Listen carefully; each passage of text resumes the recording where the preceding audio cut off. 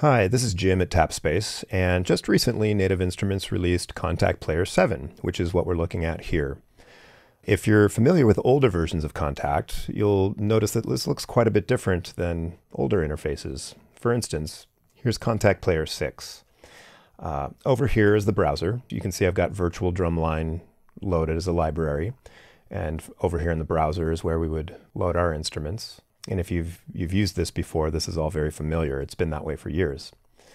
In Kontakt 7, we don't even see that we have virtual drumline loaded as an instrument. And that's primarily because it just doesn't quite conform to the way older instruments were structured. And so uh, it doesn't necessarily recognize that virtual drumline is installed, even though it is. Fortunately, all we have to do is get out of this newer browser view, which you do by clicking here. And uh, even though this looks kind of sparse, it's essentially the same thing as this. This is just an instrument rack over here. It's, tends, it's minimized at the moment, and I think it's that way by default. So we'll just unminimize that or maximize it.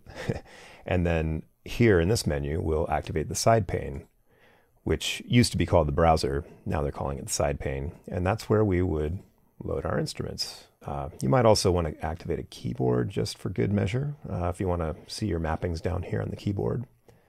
And now we can just load an instrument per normal and everything functions perfectly in Kontakt Player 7. So even though the newly redesigned library view here doesn't show the virtual drumline is installed, it is. You just have to go back to this kind of old-fashioned view to access your instruments.